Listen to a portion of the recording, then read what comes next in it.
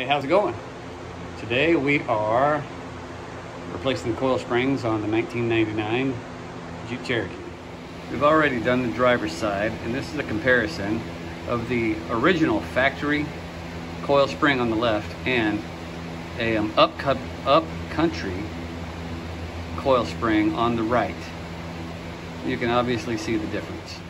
So we're going to start on the uh, passenger side by jacking up the front end and putting jack stands underneath the frame.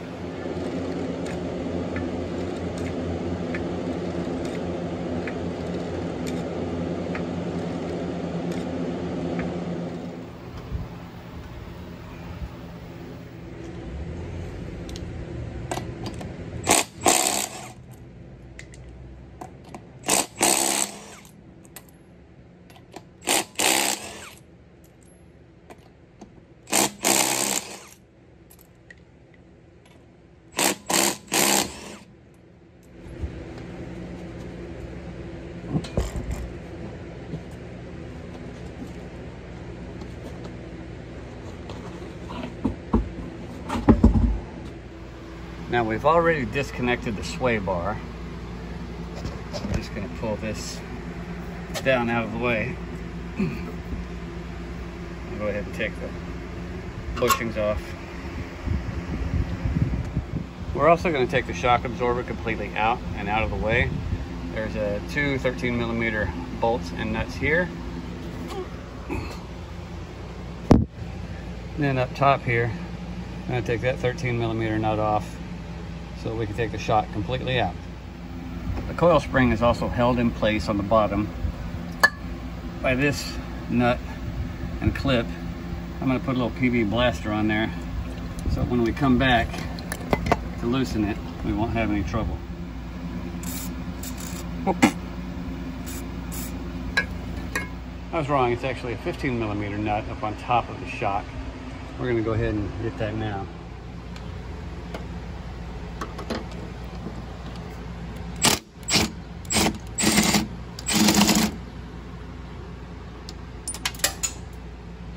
We'll find that nut in a minute.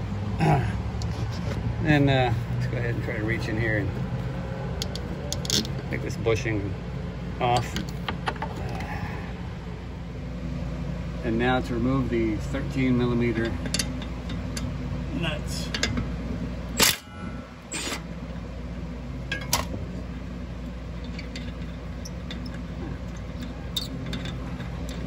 Quick work on that one.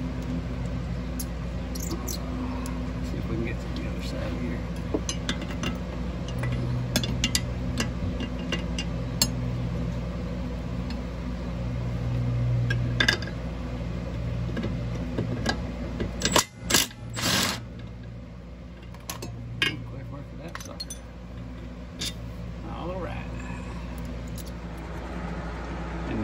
lift that shock up and out.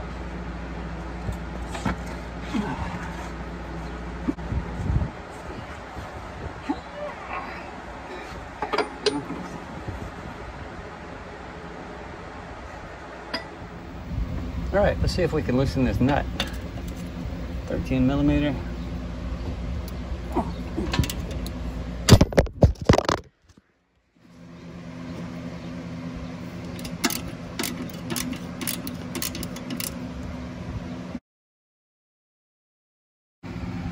Okay, that should be loose enough. There we go. Let's move that out of the way. Now because we have the Jeep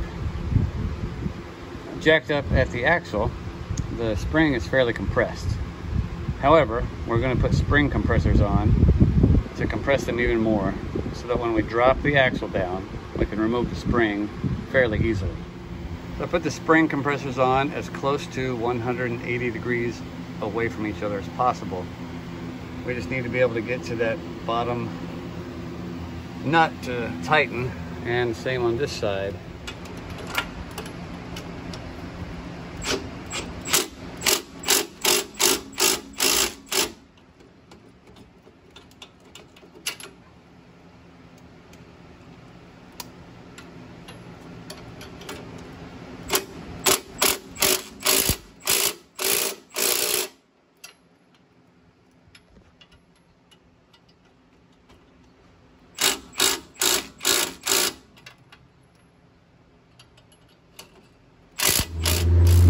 The spring compressed quite a bit. We're going to go ahead and uh, drop the axle just a little bit.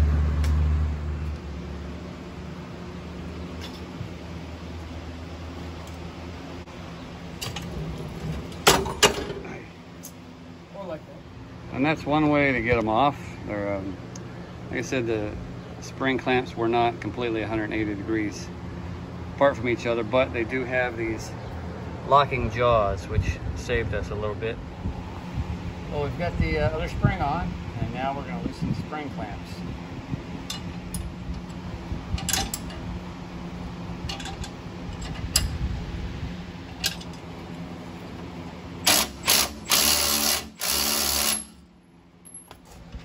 And don't forget, don't forget to put that retainer clip on and tighten it down. All right, let's get that shock absorber put back on.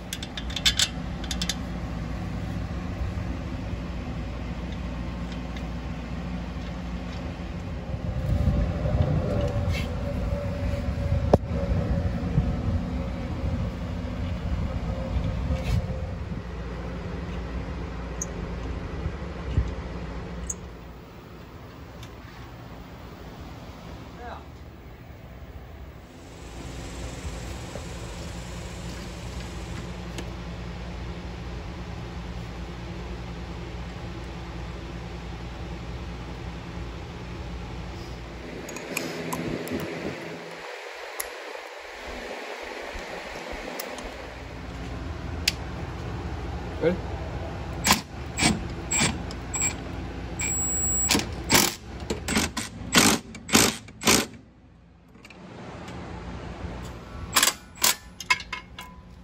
That's it. Mm -hmm. Go. Um, now let's get that sway bar link put together.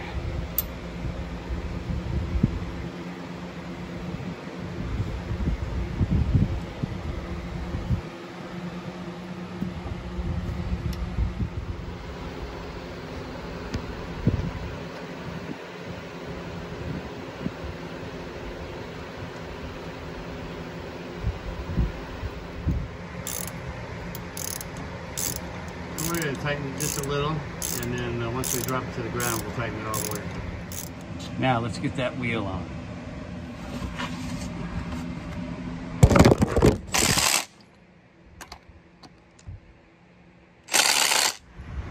Now, let's let it down. All right, let's uh, button her up and take her for a drive.